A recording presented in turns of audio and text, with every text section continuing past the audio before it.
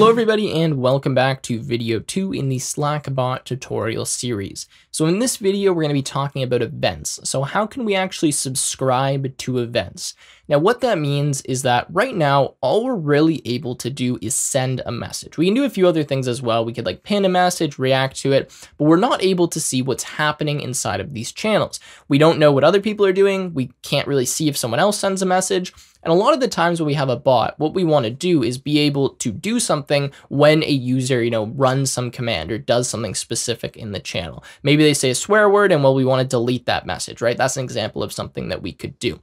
So what we need to do is set up a way for our bot to be kind of alerted or be aware when something happens in this channel.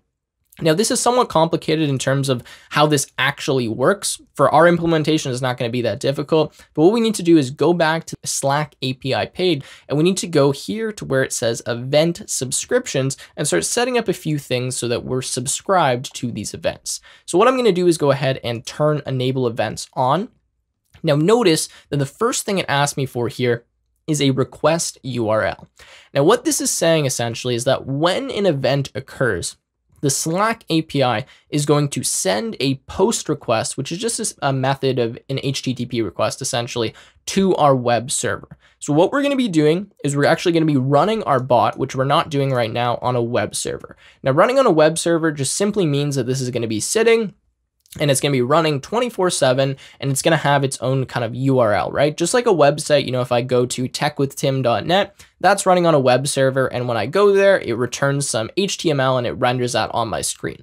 Well, this is going to work a little bit differently. What's going to happen is we're going to be running on a web server. It's not going to be a website, just a web server. And when an event happens, it's going to send a request to that web server, and then we can handle that request and we can do something with it. So for example, when a user sends a message, we can send a message back or we can say hello or something like that. So to do this, uh, we need to start by doing a few different things. The first thing we need to uh, do is install a tool tool called ngrok. So N-G-R-O-K. The reason for this is that we're going to run our web server on our local computer, at least for right now. When we distribute this bot later on, we will run this on like a public web server that everyone can access. But for right now, we're running it on our local computer. So we need to go ahead and install this software called ngrok, which will essentially allow us to take a public IP address or a public domain and route that to our local web server. So you just need to go ahead and press download here. This is completely free. There is a paid version, but we don't need that. And then if you're on Windows, obviously download for Windows. If you're on Mac and Linux, download for those respective platforms. Now there is some instructions here. Uh, you may have to do a few different things if you're on Linux or Mac OS. Uh, you can check that out right here, but download that and then make sure you keep track of where that file is downloaded because this software works a little bit differently than uh, we may have used before. Anyways, mine is stored inside of my downloads folder. So if I go to downloads, you can see I have ngrok right here. Make sure you unzip that folder and then just take the application file and put it somewhere where you're going to remember. In fact, you could actually put it uh, right inside of here if you wanted to. It's going to be hard for me to run it in this directory, uh, but of course you could put it there if you wanted to. All right, so the next thing we're going to need to do is install a few more packages from pip. So since we're going to be running a web server, we're going to use a module called Flask, which is just a really lightweight uh, micro web service is what it's called to actually run this server. So we're going to say pip install Flask like that. Now again, you can say I already have this satisfied for you guys. It should install a bunch of different things. And then the next thing that we're going to do is we're going to say pip install and then Slack events API. So I'll leave that up right there and you guys can see what that is. But this is what we're going to use to actually handle and grab the events coming from Slack. So now that we have these two things installed, come on, finish up there. We're going to go ahead and modify some things in our Python file, and then we'll go back to the Slack API page and we'll add a few different things. The first thing we're going to do is we're going to say from Flask import Flask with a capital like that. Then right after we initiate the client or before, it doesn't actually matter where we do it, we can say app equals, and then we're going to say Flask and then underscore underscore name underscore underscore. This is simply just a variable that's inside of Python. It represents the name of the file. Uh, you don't, I don't need to explain why we need that, but this is just how we configure our Flask application. Now it's super easy to run our Flask application. What we can do is we can set up this if statement at the bottom of our program and say if underscore underscore name underscore underscore equals, and then inside of strings, underscore, underscore, main, underscore, underscore. Simply, we can do app dot run, and then we can say debug equals true. Now what this is going to do is take our Flask application, it's going to run it on the default port, which I believe is port 5000. If you want to change the port that this is running on, you can say port equals and then set that to some integer value that's not already being used. But what the debug does is say, okay, if we save this file or we modify it, we don't need to rerun the Python script. It will automatically rerun it for us. It will automatically update the web server, which is really nice when we're doing development. And then what this is saying here is essentially if we didn't import this file, if we actually ran this file directly, that's essentially what this if statement says, then go ahead and run the web server. The reason for that is if we imported this from another file, we probably don't want to run the web server when we're, you know, taking a variable or something like that from this file. All right, so now we have that. The next thing we're going to do is we're going to say from Slack events API import Slack event adapter. Now, this is kind of a weird thing. It's hard for me to explain exactly what this is going to do, but this is going to handle all of the events for us. So after we make the app and make sure it's after, what we're going to do is say slack underscore event underscore adapter like that is equal to slack event adapter. And then inside of here, what we're going to need to do is pass something, something, and then our app. So I'll uh, talk to you about what these two things are in a second. Actually, we can do the middle thing. We're going to say slash slack slash events. But for this one, we're going to need to pass what's known as a signing secret, which we're going to have to grab from the Slack API website. What this is saying is, okay, we're going to add the Slack event adapter. This event adapter will allow us to handle the different events that are being sent to us from the Slack API. And what we're going to do is say, okay, we want this route right here, so slash Slack slash events, to be where we send all of those different events to. And app is saying, okay, what web server are we sending these events to? Well, we're sending it to this app, which is the current running web server. Hopefully that makes sense. But let's go back to the Slack website, uh, Slack API. We're going to go to basic information and scroll down. And there's this thing called our signing secret. Now what I'm going to do is, well, I'm going to have this blurred out, but I'm going to copy this signing secret. I'm going to go into my .env file. And just like I made this Slack token, I'm going to say signing underscore secret equals, and then I'm going to set it equal to that token that I just grabbed, or that secret that I just grabbed. Now, just like we did previously, what we're going to do is use the os.environ uh, or whatever you want to call this to grab the signing secret from that file. So I'm just going to copy this here and I'm going to paste that as our first argument to the Slack event adapter. So now instead of Slack token, I'm going to say signing, oops, in all capitals, underscore secret like that. So there you go, I saved and you can see now it kind of went down on the next line. We have Slack event adapter, signing secret, the route we want to go to, and then app. All right, now this is where it gets a little bit more complicated, but nothing crazy. So what we're gonna do is go ahead and run this. I just wanna make sure I didn't mess anything up too badly. I actually think that we are good. Okay, so I'm gonna go ahead and run this. And notice that now we can see that we have a web server running and we get kind of all of this output. So it says right now that we are running on HTTP colon 127.0.0.1 colon 5000. So that's just localhost, right? But what I want you to keep track of here is this port. This port is important because we're going to need to use this in the next step. So in my case, I'm on 5000. You're probably on 5000 as well. But if you see a different number here, then swap what I do in the next step with that number. So what we're going to do now is go and find where that ngrok program was and just double click it to run it. Now, if you're on Mac or Linux, you're going to have to go back to the ngrok website and kind of follow the instructions for that. It's not very complicated, but you just need to essentially run that program. So I'm going to go and double click ngrok. And then now I'm inside of CMD. What I'm going to do is I'm going to type ngrok in lowercase like that. Also, I have no idea if that's how you pronounce it, so I apologize if I've been butchering this the whole time. You're going to type HTTP and then you're going to type the number uh, for the port that your server is running on. So in this case, ngrok HTTP 5000. I'm going to go ahead and press enter. And when I do that, you're going to see that we have all of this kind of stuff popping up here. And what I want you to look for is where it says forwarding.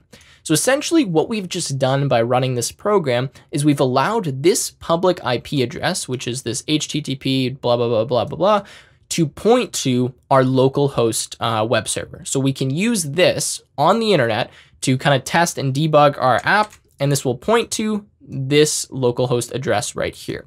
Now keep in mind, just because this is the free version of the software, whenever you rerun this tool, and you do need to keep this running, you can't close this window, you need to keep it running the entire time, this address will change. So what the paid version does for you is it lets you have a permanent address for this so it doesn't constantly change. For us, that doesn't matter. This is just for development purposes anyways. But copy this address, it doesn't really matter if you use the HTTPS or the HTTP. I'll just use the HTTP. Again, this doesn't really matter at all. And we're going to go back to the Slack API website here. And what I'm going to do now is I'm going to go back to events. So let me find where that is, event subscription. And now we're going to enable events and where it says request URL, we're going to put that URL that we just copied. We're going to put slash slack and then slash events. Now, once we do that, uh, we're going to go and go to subscribe to bot events. And we're going to add the events inside of here that we want to subscribe to. So in this case, I'm going to go add bot user event. And what I want to do now is I want to have channels and I want to do message.channels. What this will do is allow me to be subscribed to all of the events where a user messages something in a specific channel. What will happen when someone sends a message is it will send a request to this URL, which in turn will hit our local server because we've rerouted that using ngrok, and then we'll be able to do something with that. So I'm going to go ahead and press Save Changes. And now it says you've changed the permission scopes for, for your apps. Please reinstall your app for these changes to take effect. Now it also says right here that we need channels colon history as a required scope for this to work. So remember back in the first video, what we did is we went to OAuth and permissions, and what we needed to do is add the channel history scope, or we added chat write.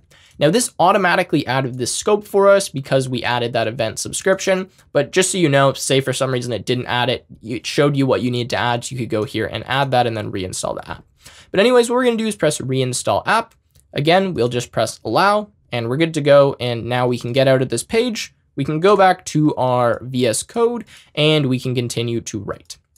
All right, so just note if I go here uh, to ngrok, we have a request that's come in here that says post slash slack slash events. What this is saying is that we have just actually received a request because we just put that URL in, right? And it was verifying that URL was correct to this endpoint right here, which is slash slack slash events. Now keep in mind that the reason why, if I go back to the API page, I just want to make sure this is really clear. Let's go back to event subscription.